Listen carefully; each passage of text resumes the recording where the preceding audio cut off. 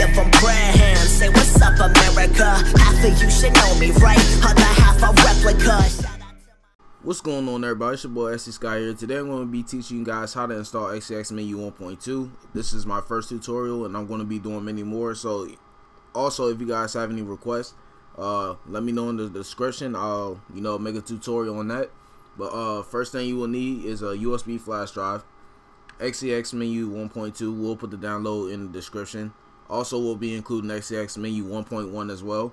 Uh, Horizon and of course a JTAG or an RGH.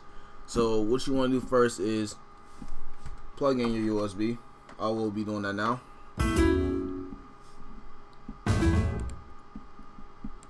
Second thing you want to do is open Horizon. Third thing you want to do is open this one wire file. Code 9900 blah blah blah. Wait for Horizon to open. It's opening right now. Alright. And then you want to um, open the one wire again. Drag and drop it down into horizon. Save to device and flash drive. So uh, I will be speeding up the process so you guys don't have to wait for this. But uh, yeah I'll be back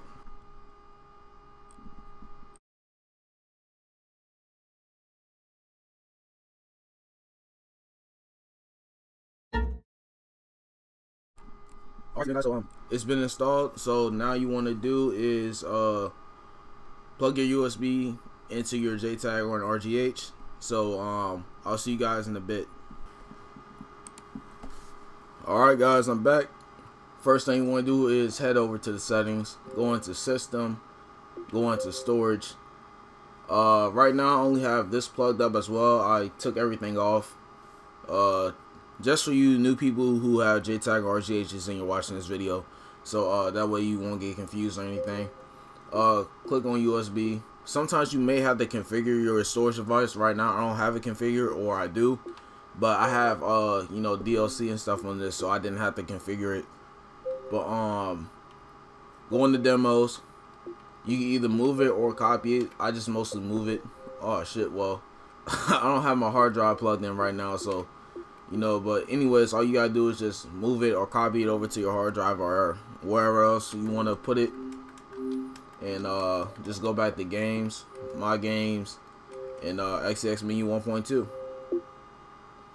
it may ask you to sign in or whatever. I'll just create like a small little profile whatever.